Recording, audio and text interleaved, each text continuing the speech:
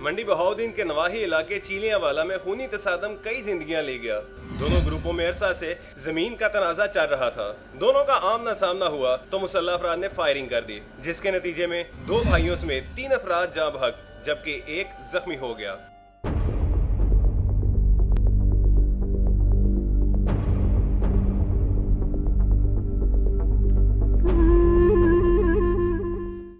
लाशों को पोस्टमार्टम के लिए डिस्ट्रिक्ट हेडक्वार्टर अस्पताल मुंतकिल कर दिया गया है।